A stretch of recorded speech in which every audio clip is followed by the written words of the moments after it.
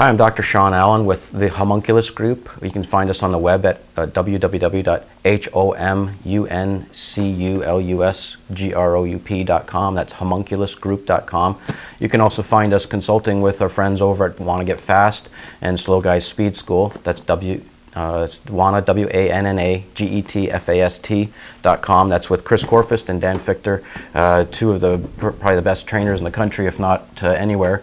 And uh, we're working with them on some of their athletes and some of our patients in developing some of these DVDs. Uh, on the uh, Wanna Get Fast website, you can find our DVD sets as well as Dan and Chris's. we've already got a, seven DVDs out, and we're going to coalesce all of these foot ones into another one here and then into some more clinical uh, applications for athletes and coaches. So look for some new videos for us from there. Um, I'm also partnering with Dr. Ivo Waerlop uh, out in Dillard, Colorado. We've put together this book, Pedograph Mapping. You can see one of our YouTube clips on the, uh, how to use the pedograph. This book tells you how to take that pedograph and use it. Today we're going to be talking about the uh, rear foot varus formation. Rear foot meaning the calcaneus subtalar joint complex. The rear foot varus formation is a heel that is kind of torqued outwards. That's a rough, you know, verbiage, but normally the foot, the rear foot and the forefoot should be on the same plane. The plane being the table, the rear foot and the forefoot are both on the same plane. The tibia is straight up and down, and this foot is in a neutral position with nice arch formation. Okay, the toes are straight forward.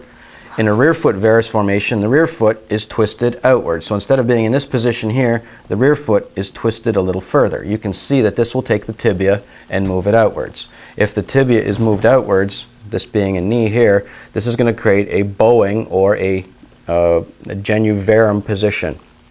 Uh, these are people going to look very bow-legged and, and, the knees are going to be far apart, swooping down into here. Uh, we will try and include some videos of some of these uh, athletes uh, in future pod, or, uh, YouTube podcasts here. Um, so the rear foot varus formation, the rear foot is tipped out. This is the most common rear foot uh, positioning. some of the studies, McPoil study in 1998, um, which is a, a fairly landmark study, suggested that 98 percent of the population have a rear foot varus formation. Some of them are flexible, meaning it does have some mobility. Some of them are rigid. Uh, if the rear foot is rigid, it will set up what's called a forefoot valgus positioning. The forefoot valgus will be seen on another YouTube cast, um, and we'll talk about that. But when you watch the forefoot valgus, you need to be thinking of this rear foot varus. You may not want to go back and review these two again.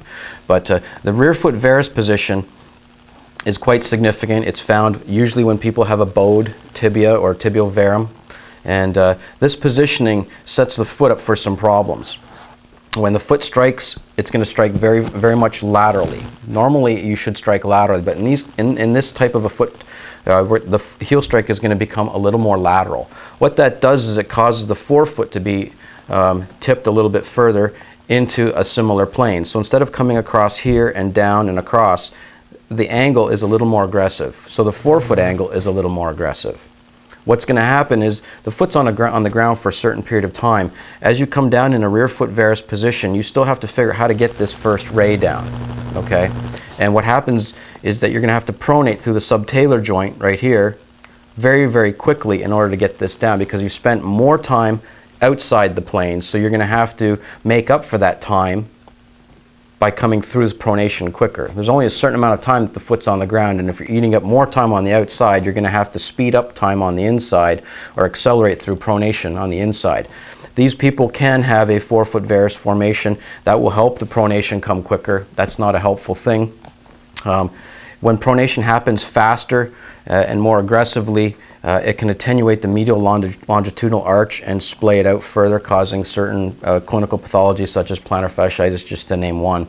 Um, when the foot arch splays out in the medial longitudinal arch, that can create some other pathologies, some hammer toes. You're going to try and grip to obtain some stability here. Um, so uh, that is your basic rear foot uh, varus pathology. Um, one of the other problems is that as you progress out of a rear foot varus pathology and you come into the forefoot, you've had to accentuate pronation very quickly. Because you've done that quickly and you've gone mo into more pronation to bring the forefoot to the ground, as you come into heel rise, the foot is slower to rotate out of that position into a rigid, uh, locked midfoot. So as they come from rear foot normally as they come from rear foot, they pronate a little bit, come into forefoot, this is locked. But in this case, uh, with a rear foot varus deformity, they've had to pronate further. As they come forward, they're running out of time to supinate the rear foot again to create a rigid uh, foot mechanism to push off of. So the foot is a little more soggy, typically in a rear foot varus position, and that's kind of it in a nutshell. The foot is not as capable of sustaining heavy forefoot push-off pressures without it being a little more soggy and unlocked in this position. Uh, normally we think of the uh, lower leg as being straight as being ideal. But because 98% or let's just say a significant percentage of, our, of, of the population are rear foot varus, um, we can't say that it's the norm. Uh, this is certainly ideal. The norm, since most of them are rear foot varus, is going to be a little bit more rear foot varus and a little bit more tibial varum. And that's why we see so many people with slightly bowed legs uh, because of the um, predisposing rear foot varus. So again, straight-legged is optimal and it's ideal, but it's not the norm. The norm is slightly rear foot varus and slightly tibial varumed. Um, that certainly doesn't bode well for perfect mechanics, but it does if you're someone who fixes these things. So uh, these types of clients, because the rear foot is a little more accentuated into a varus position, the heel strike is going to be a little heavier. These are people going to have a heavier sounding gait when they're walking. Pronation is going to be a little bit more excessive and quick. Um, they're going to need a shoe that is not like this, not like a normal cushion shoe. They're going to have one that has the uh, gray built in, the more of a stability type shoe. Uh, that will help them uh, slow down the pronation as they come into the uh, arch of the shoe. Uh, that increased stability here will help.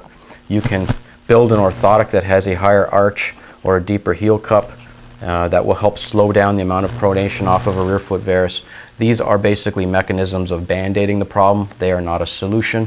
Um, we believe that orthotics should be a, a therapy device that you put this in initially kind of like using crutches or an air cast for an ankle sprain. And as they begin to progress out of the uh, injury or out of the pathology, you start to grind down the orthotic. You start to uh, decrease the uh, shoe aggressiveness into a neutral shoe from a stability shoe. In other words, you want to fix the problem. The only way to do that is to ascertain which of the deficits are, are, mechanical and muscular that can be remedied, and which of them are anatomic and need to be supported by various postings on an orthotic, which we'll talk about in another DVD.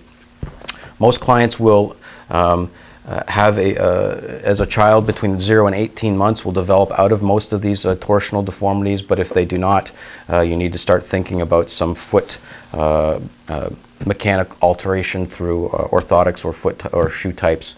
Um, so that is our, in a nutshell, our basic rear foot varus pathology.